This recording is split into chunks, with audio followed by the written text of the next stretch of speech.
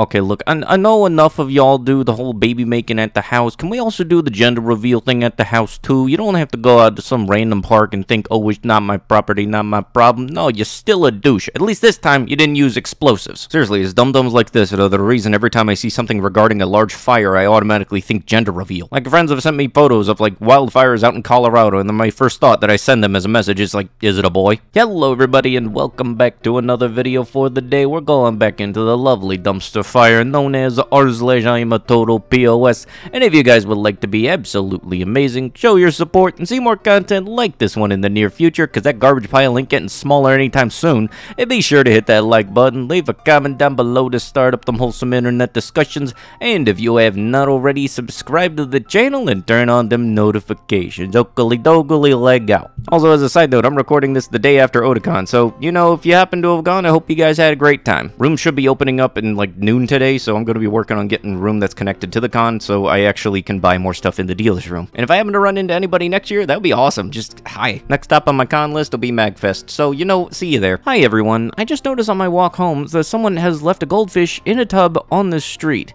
saying free fish to take the tub too. Give them a good home. I can't take them, but can anyone else take them before a frosty night tonight? Wolverhampton Street, this location. For anybody not knowing, because of Australia being on the southern hemisphere, our summer is their winter, so this is actually a very recent post. And just straight up, do not abandon pets whatsoever, especially in instances where you're pretty much going to guarantee to kill them. The only instance where water can freeze over and goldfish or koi's can still be alive is if the water is deep enough where the ice doesn't go all the way down. Usually that limit is like 3 feet. And I'm in no way, shape, or form supporting anybody that uh, just thinks that they can abandon a pet because they don't want it. I don't like you whatsoever, and honestly, I, I imagine if people treated you like that. It's not cool. Like nationality, it's Indian. Indian? No way. uh, why? You're too handsome for being Indian. I just don't like them at all. Accent plus, maybe I used to see Taxi Driver. I wouldn't imagine that there is someone handsome can be. So let me see if I got this straight. You found a person attractive, but as soon as you found out that they were Indian,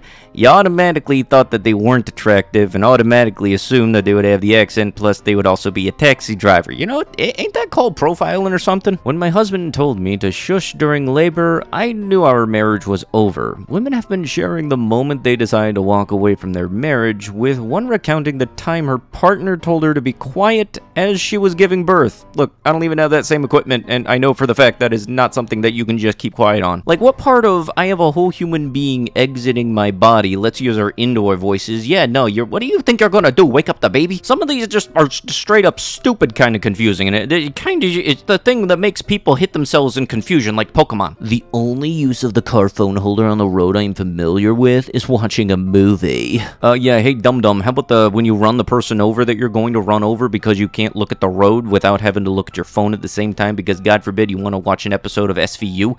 Uh, yeah, just uh, make sure you tell them no spoilers because you don't want them to actually do anything that's bad for you. Like, you know, spoil your episode for you, huh? I don't know how addicted to a show you gotta be where you think that is perfectly fine to watch it while you're driving, and I didn't even think that there were examples of that but yet here we are. Puppy left in a car with a mouth taped shut while a man gambled, Las Vegas police say. There was actually a video with this, but I'm fairly certain I can't show the video just because it's like animal endangerment or something like that. Uh, yeah, no, the uh, this was a husky, a winter dog in 108 degree weather in Las frickin' Vegas. And I don't know where this person's thought process was, but it very much wasn't in his head because like if you were going to take your dog out, and, and you plan on going to places where your dog is not allowed, you kind of have to factor in both of those at the same time. It's like, oh, I can't take my dog into a grocery store that's not a service dog. Yeah, no, you're not going to the grocery store then, dude. It really does suck that there are countless compilations, even, of this kind of stuff, and I absolutely hate people for this. If, if they're charged with this kind of stuff, then they shouldn't be allowed to have pets. Like, I really wish that a lot of places would implement the same thing that I do in my place. We can refuse pet sales if we are fairly certain that animals animals are going to be put into a bad environment, like if you take a whole parrot and put in a little travel cage, something like that. Or the one that's the most common is that my store sells like mice and rats, and we aren't allowed to sell them as feeder. So if we know for a fact that somebody is likely going, like if somebody jokes, oh, you won't be getting it back, yeah, no, you're not getting the animal then. If you on purposely plan to do anything that's going to hurt an animal, I very much hope that you never get to have an animal. Air passengers are using a TikTok travel hack where they pretend to need a wheelchair in an attempt to skip lines, airport CEO claims. You know, the more I see stuff like this, the more I automatically think that whenever I'm discussing anybody with something and they said that, hey, I learned this thing from this tick. Yeah, or when you say tick and TikTok, I'm already zoned out at that point. Because that's the same app that made the whole Tide Pod and basically any internet challenge where you have physical violence going on a definite thing. There's a whole lot of things from TikTok that shouldn't be things, but because TikTok algorithm and everything and promoting all that, it does apparently unfortunately become a thing, and I'm not liking this. This is why I need to collect those stones so I can get rid of all the dum-dums in the universe. If you do something stupid, and if you do something for clicks because haha hee hee it's funny even if at somebody else's expense, well you know what, uh, yeah, you know, you're getting a little snappy snap too.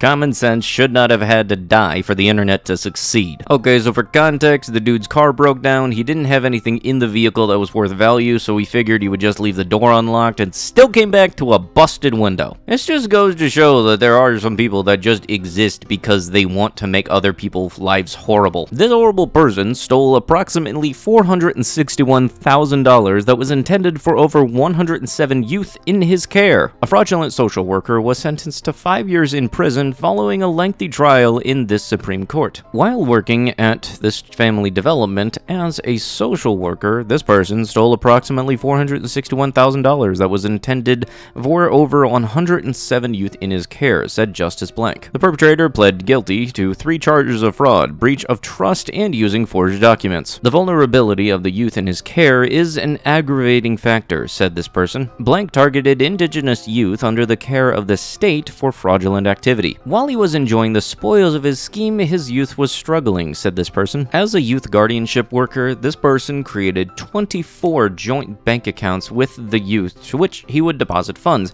intended for the youth. He would then transfer the funds to his bank account. Blank would then create additional paperwork to make it look like the youth were receiving the checks. Yeah, you know, because nothing says I like the kids. I support the kids much like, uh, you know, I'm taking money from the kids. Don't worry, making it look like it's all professional and everything, you are going to get ripped in prison, I can just guarantee it. Like, hey man, what are you in for? I stole money from kids. Yeah, well, yeah, no, you're going to get, you're going to learn about the totem pole. I mean, you're not far from the bottom, but you're not at the bottom, but you're also still not far from the bottom, dude. I think it's just a general rule that a lot of criminals do when criminaling, and uh, it's the general whole uh, keep kids out of all of your things kind of rule. Ah, yes, well, you look at that. The moral reset button brigade is back at it again. Here's the thing. If you're going to try to vandalize something, could you at least spell Genesis correctly? Jesus Christ. I in all seriousness, like, serious, if you're going to be a douchebag, can you at least be literate with your douchebagginess? Stuff like this is why a lot of people don't go to church because they don't want to be around the lovely crowd that thinks it's perfectly fine to do this. If anybody can help me find out exactly what part of love thy neighbor is difficult to these dum-dums. Like, I honestly did not know that respecting and loving your human being for existing, your fellow human being, was a freaking hard thing to do to some people. Gotta love Miami charter boats. Let's throw a party pop every single balloon on the bow of the boat just right into the water.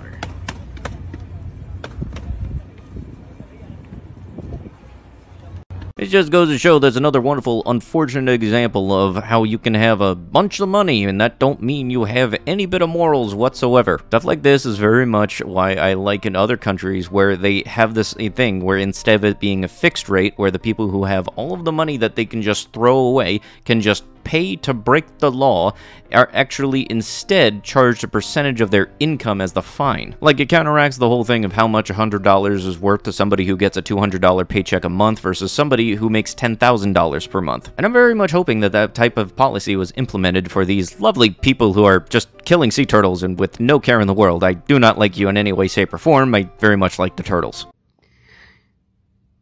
And you guys wonder why you can't find any of these in the store? God forbid, yo. This is like the second time this week this kid's been here.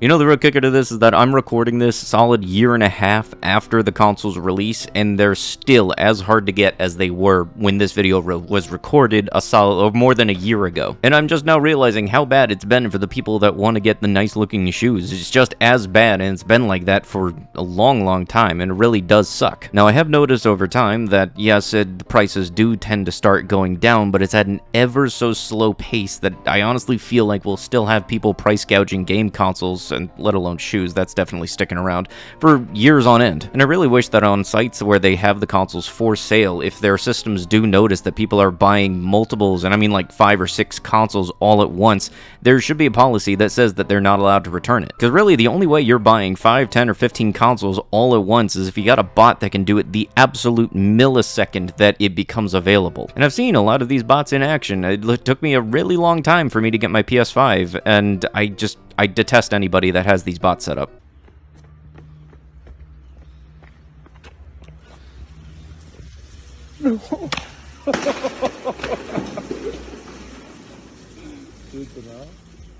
Uh, hey dude, since you seem to be a professional at it, could you elaborate on the conversion method of internet points to uh, being fined by the legal system? Imagine thinking you want to be cool on the internet for 15 seconds and then you spend a year and a half behind bars because of it. Why do I have the weird feeling that's happened multiple times before? But with that last example of why Trojan is a wonderful idea to wrap it up sometimes, that's gonna have to be it with the video. If you guys would like to be absolutely amazing, show your support, and see more videos like this one in the near future, be sure to hit that like button, leave a comment down below to start up them wholesome internet discussions, and if you have not already, subscribe to the channel and turn on them notifications. I'll be sure to see you guys in the next one. Thank you so much for watching, and bye-bye.